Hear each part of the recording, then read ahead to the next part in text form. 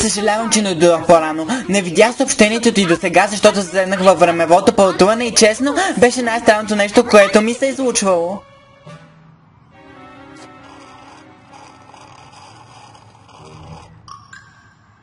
Това прави второто най-странно.